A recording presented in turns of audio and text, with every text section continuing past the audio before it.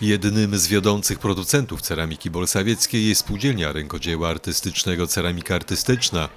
Od początku tegorocznego święta ceramiki swoje wyroby firma sprzedawała na kiermaszu w rynku i w specjalnie tworzonym na ten czas ogrodzie ceramicznym. Na tą okoliczność y, wyprodukowaliśmy ponad 60 tysięcy sztuk różnego rodzaju asortymentów.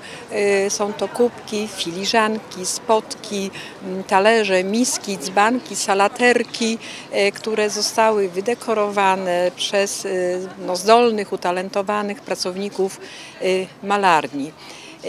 Ponadto już dzisiaj jest możliwość dla osób chętnych skorzystania z body paintingu, makijażu stempelkowego. Widzę, że no jest spore zainteresowanie, dosyć duże tłumy.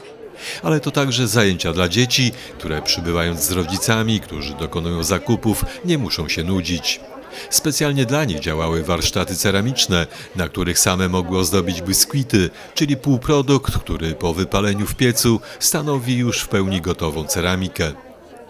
Jak zwykle ceramika artystyczna zaproponowała na święto swoje nowe zdobienia i nowe kształty, na których się one pojawiły. W tym sezonie chcemy zaproponować e, taką galanterię dekoracyjną. Nowe wazony, nowe świeczniki, e, formy ozdobne, figurki. Natomiast jako element dodatkowy, kontynuację tej linii, która była e, wcześniej prowadzona w naszej sprzedaży, to doszły formy do serwowania owoców morza. Nowe formy ryb, formy ryb dzielone, takie malutkie kokilki, które mogą y, pomóc, wspomóc y, serwowanie takich drobnych potraw. Już stałym klientem ceramiki artystycznej jest Marcin Makulski, który w Warszawie prowadzi sprzedaż m.in. ceramiki bolsawieckiej. Na święto ceramiki przyjeżdżam od y, kilku lat regularnie. Bardzo fajne wydarzenie, y, bardzo dużo towaru ciekawego. y, Ogrody ceramiczne, w których się znajdujemy, naprawdę przepiękne, różnorodność oferty. Y, Warto przyjechać, warto zobaczyć, y, warto tutaj być. A żeby co skłoniło Pana do tego, żeby pierwszy raz tutaj przyjechać przed czterema laty? E, Współpracuję z ceramiką artystyczną już od dłuższego czasu, e, od mniej więcej 10 lat.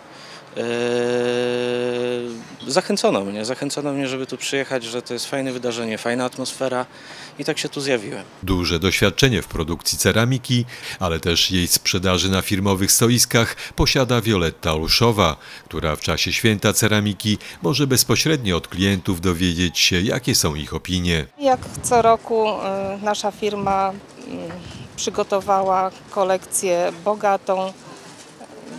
Klienci y, są bardzo zadowoleni. Mamy dużo wyrobów, dużo dekoracji, ładnych dekoracji. Dekoracje się bardzo podobają. Y, Zakupy wychodzą klienci bardzo zadowoleni od nas. Y, No nie wiem, A czy można powiedzieć e, o czymś, co się takim największym zainteresowaniem e, cieszy właśnie w tym roku akurat? W tym roku mieliśmy nową dekorację truskaweczki. Rozeszła się bardzo szybko. Nie mamy ani jednej sztuki w tej chwili już. No i oczywiście edycja limitowana, która no, rozeszła się w błyskawicznym tempie. No to było mm, hitem w tym roku. No to są n- nietanie rzeczy. No nie są to tanie rzeczy, y, no ale klienci nie patrzyli na ceny. Pakowali do koszyków, no i, i wychodzili bardzo zadowoleni.